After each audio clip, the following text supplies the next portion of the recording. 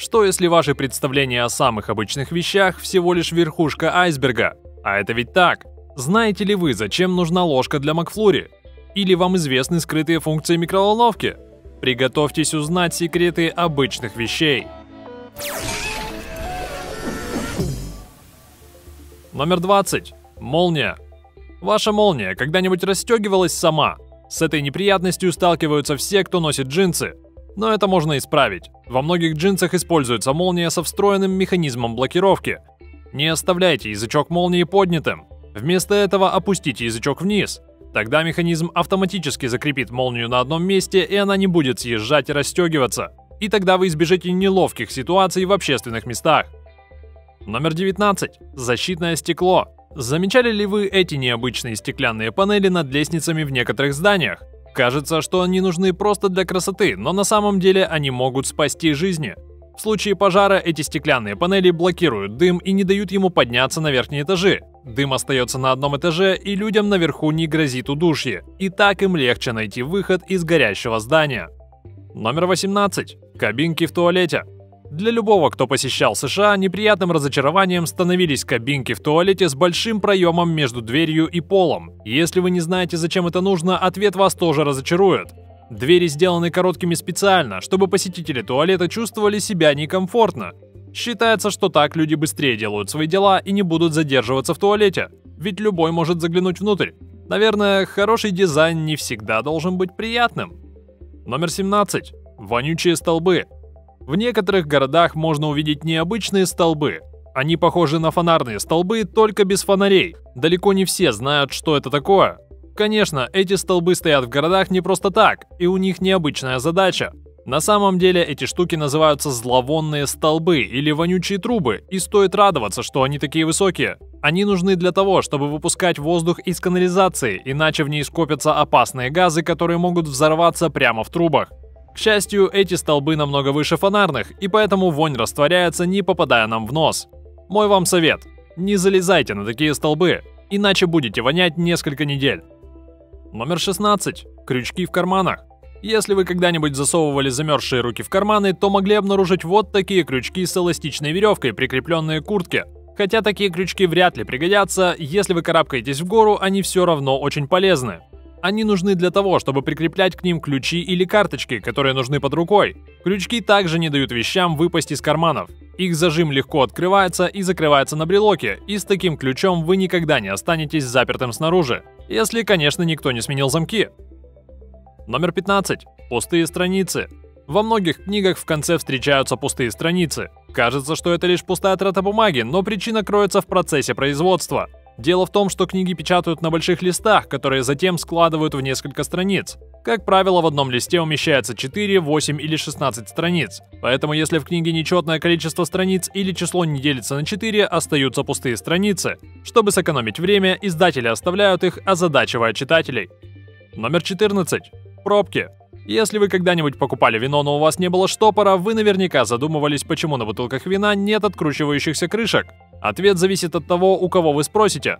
Но в основном пробки используют, несмотря на более удобные варианты, потому что они позволяют вину дышать. Хоть они и не пропускают влагу, пробки пропускают немного воздуха в бутылку и из нее. Благодаря этому вино с возрастом приобретает лучший вкус. С закручивающимися крышками это невозможно. Но учитывая, что у вина из супермаркета срок годности где-то 2 года, может быть обычные крышки и правда подойдут куда лучше. Номер 13. Скрытые замки. В некоторых старых домах на дверях у ручек есть вот такие круглые впадины под замком. Нет, это не тайные послания, оставленные предыдущими жителями. Эти кружки – части старого запорного механизма, который использовали раньше. Если нажать на одну из кнопок, замок закроется с одной стороны, и дверь можно будет открыть только ключом. Это устройство использовали, пока не появилась простая кнопка на дверной ручке. Номер 12. Мечи для гольфа. Знаете ли вы, зачем на мечах для гольфа вмятины? Они не всегда были такими. Изначально мечи были круглыми и гладкими. Но в 19 веке люди начали замечать, что старые мечи с вмятинами и впадинами летают намного лучше, чем новые гладкие. Тогда спортсмены принялись специально делать вмятины на мечах. Но почему с вмятинами полет становится лучше? Когда идеально гладкий круглый мяч летит в воздухе, он оставляет позади след, из-за которого полет замедляется. Впадины создают тонкий пограничный слой воздуха, который цепляется за поверхность, и воздух течет дальше к задней части мяча. Таким образом, размер следа уменьшается и полет ускоряется. Впадины также оптимизируют подъемную силу мяча, из-за чего он летит намного выше, дольше и дальше. Так что, может быть, стоит обстрелять из пневматического оружия самолеты, чтобы они лучше летали? Но сначала уточните у властей, можно ли так делать. Номер 11. Бутылка вина. Некоторых может разочаровать большое углубление в бутылке вина. Разве это не пустая трата места?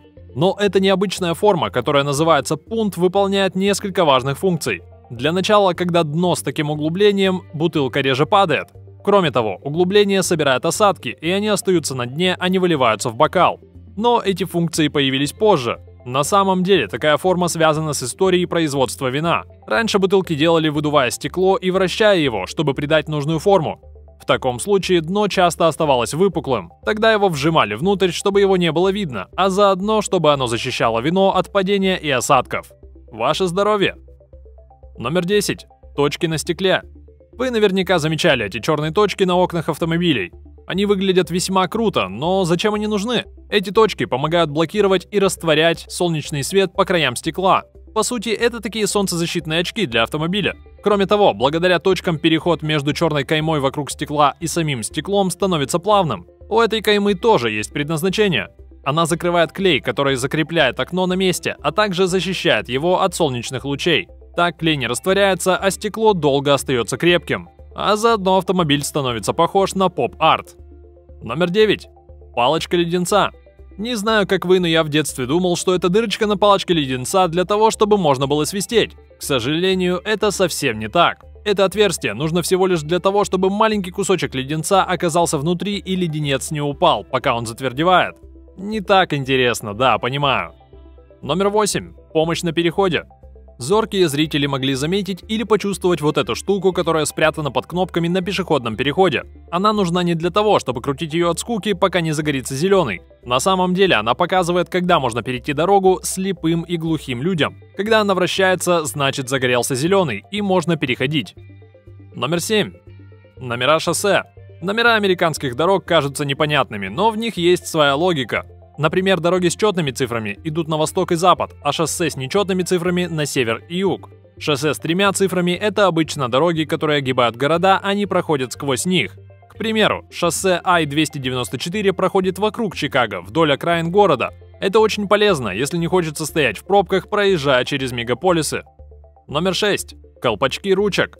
Вы знали, что отверстия в колпачках нужны для того, чтобы спасти жизни? Это так. Если ребенок или неаккуратный взрослый проглотит колпачок, через отверстие пройдет немного воздуха и его будет не так опасно вытаскивать. Это не единственное полезное отверстие в ручке. Дырочка сбоку или на кончике ручки для предотвращения повышения давления. Без этой своеобразной вентиляции вакуум бы не дал чернилам течь вниз. Кроме того, благодаря отверстию ручка не взрывается при смене давления в самолете. До появления этого отверстия у многих авиапассажиров взрывались ручки. Так что выпейте за этих героев прошлого. Номер 5. Ложка для Макфлури. Признайтесь, вы хотя бы раз пытались использовать ложку для Макфлури как соломинку? Я пытался, но на самом деле у нее совсем другая функция. Такой дизайн нужен всего лишь для размешивания. Когда делают Макфлури, мороженое и другие ингредиенты вроде шоколада и сиропа наливают и насыпают по очереди. Чтобы все ингредиенты ровно распределились по всему Макфлури, ложку вставляют посередине и подцепляют к специальной машине с помощью маленького крючка. Машина размешивает Макфлури и готово. Приятного аппетита! Номер 4. Кружки на чипсах.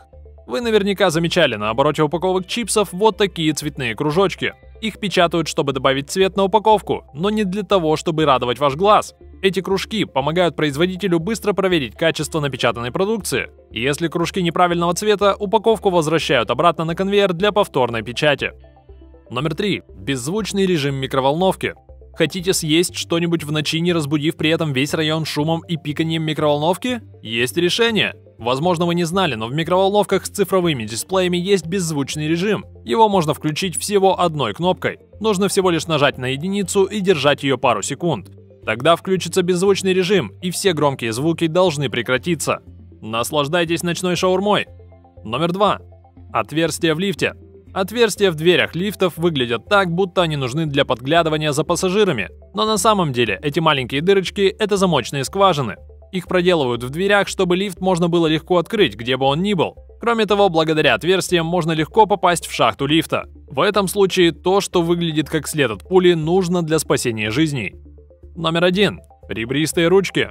В более дорогих ручках часто встречаются необычные ребристые штуковины, расположенные у кончика ручки. Они нужны не только для украшения, но и выполняют важную функцию. Когда чернила спускаются к кончику ручки, они заполняют эти ребра. Это означает, что пишущему доступно больше чернил. Кроме того, ваши руки согревают ручку, и воздух в ней расширяется, заставляя чернила течь в эти самые ребра вместо того, чтобы растекаться по страницам или рукам. У перьевых ручек есть похожий механизм. Этот утонченный дизайн наверняка спас вас от пролитых чернил, а вы, скорее всего, даже об этом не знали.